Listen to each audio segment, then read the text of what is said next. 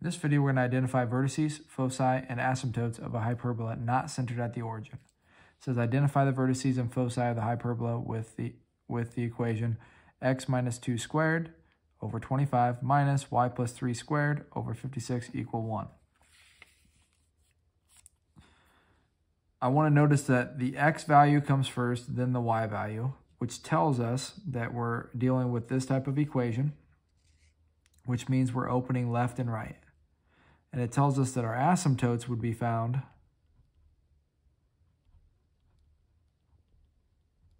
are going to be found using this equation, y equals plus minus b over a x.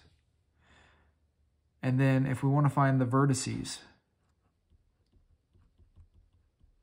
and the foci,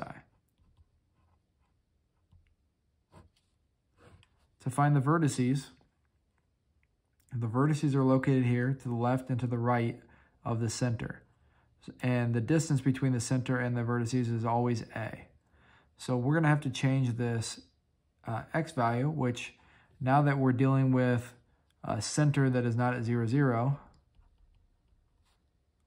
the center is always h comma k, and we have h here, which is 2, and k here, which is negative 3. Remember, it's always opposite sign coming out, coming out of that uh, formula because of the sign, the formula is always x minus h squared and then uh, y minus k squared.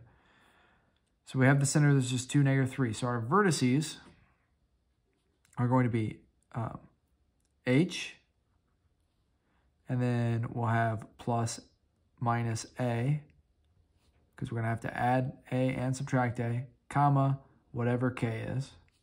And our foci are going to be h plus minus c, comma, k. Now that we have all that written down, we can say that a squared is equal to 25, which means a is equal to plus minus 5. b squared is equal to 56, which makes b equal to uh, root 56. And I'll just write root 56 for now. We can find c by doing c squared equals a squared plus b squared. So we get c squared is equal to 25 plus 56 if I add 25 there, I end up with c squared is equal to 81. Square root each side, we get c is equal to plus and minus 9.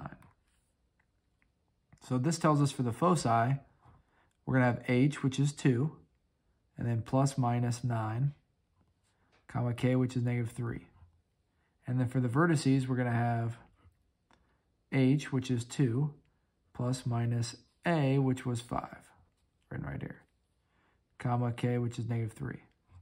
And then for our asymptotes, we're going to have y equals plus minus b, which is root 56. And I know that that simplifies, but I'm just going to leave it like this for now. Root 56 over uh, a, which is 5, x. So these are the asymptotes. I'll have two of those. I can simplify this to find the vertices. So I'd have uh, 7 2 plus 5 is 7, comma negative 3. And then 2 minus 5 would be negative 3, negative 3. And then the foci would be 11, comma negative 3, 2 plus 9. And then 2 minus 9 would be negative 7, negative 3.